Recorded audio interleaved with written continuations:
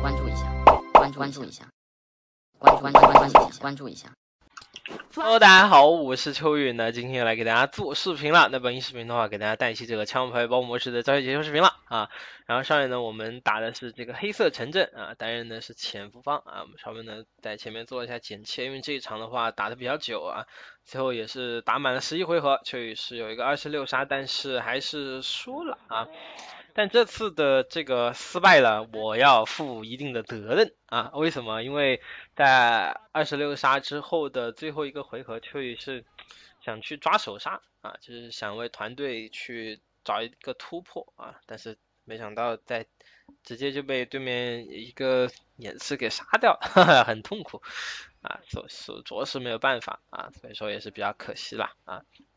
这场的话，呃，也算是经历了吧。来看一下，我们上来的话冲击了两波 B 血啊，然后这里最后一个人在 A 附近啊，我们这边往前拉啊，结果队友呢都被狙了，然后我往外一走，对面的喷子在盲点直接一枪把我喷头了啊，就是咱们开局的一个大劣势啊，本来是一个大优势五打二啊，然后呢。出去送了三个啊，然后秋雨拉出去也送了，哈哈，然后最后二呃对面二打一也是赢下来了，所以说我们嗅到了一丝危机啊，就啊就闻到了一丝要输的气息，然后下半场啊下回合我就换上了这个狙击枪啊，然后想来带领队友一波。啊，来看一下我们这边打掉了两个啊，然后三 v 三啊，队友在装包的时候也帮他掩护一波啊，然后这里听到 A 狗有脚步，直接跳上去啊，一枪瞬间带走带走，然后这边小刀有一只打我的屁股啊，我这里也是利用了一枪甩枪啊，甩直接甩了一枪。把他打掉啊！但这回合我印象里面还是输了啊，还是输了，那就比较艰辛啊这场玩的，因为当时我没血，然后告诉队友不要去对枪啊，但是队友还是去了啊，就没得办法，我最后也被手枪抠掉啊。这种这怎么说呢？其实就让他躲起来，然后我去打第一枪啊。如如果说我空了，他再出来补枪啊，因为这个时候我空枪了之后，敌人的注意力肯定在我楼梯这边，然后他包点去打，但是他如果包点去对我这边帮他补不了枪的话啊。那么他有可能会把对面杀掉，但是有可能会死。他如果死了的话，对面就有很大几率可以灭队啊，因为我是一个残血嘛，对吧？啊，所以说大家在打排位的时候，虽然说匹到了很多路人啊，都都不是认识的，但是像这种比较简单的配合，如果做到的话，还是很容易可以赢的，对吧？然后看看这波 A 大的狙击枪是被秋雨打掉了。打了个脚啊，然后我们直接上去先杀掉他的队友，然后跳到包点来再打他的侧身啊，然后瞬间的话跳到 A 狗去去阻防了这个 B 区的保卫者啊，这是一波比较顺畅的连杀，然后呢捡了他的这个呃 F 二啊这个老兵枪狙击枪啊，这个枪的话以前秋月有拿来用过啊。哎，然后这里拉一下栓啊，这个枪拉栓的动作真的还蛮帅的啊，只不过嗯，只能开个单倍镜啊，我记得这个狙击枪只能开单倍镜啊。然后上下半场换边呢，啊，我们当当这个保卫者可能就会好打一点啊，就毕竟是一张锦优图，然后这队友爆点好像 A 大上来了啊，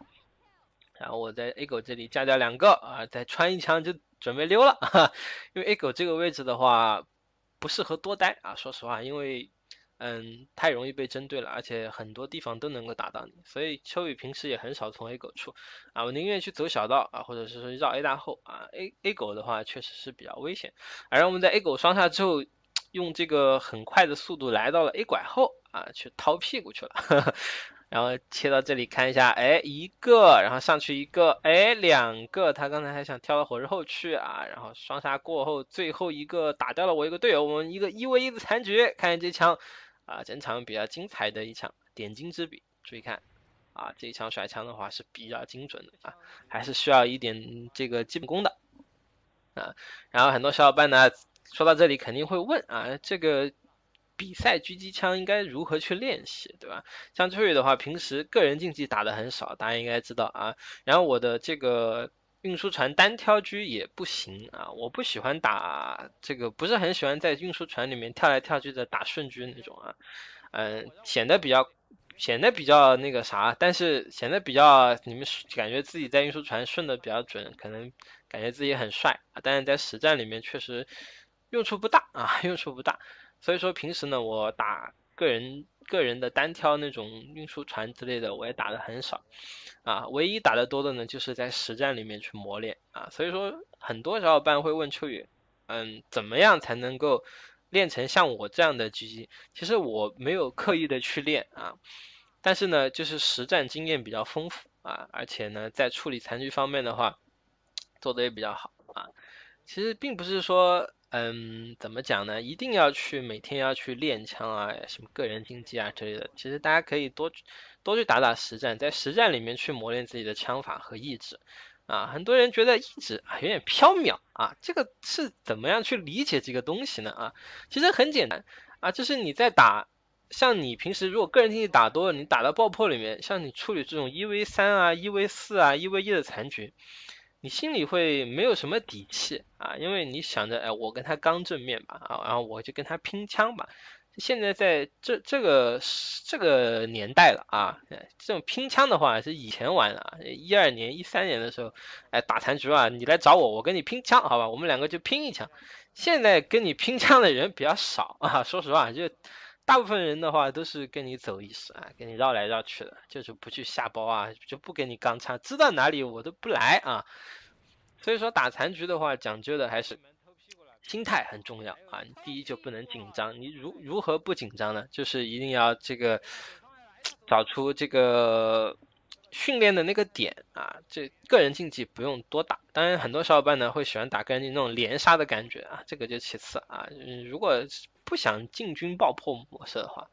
啊，可以倒无所谓啊。如果大家想在爆破里面变强啊，也就只有打实战这么一条道路了啊。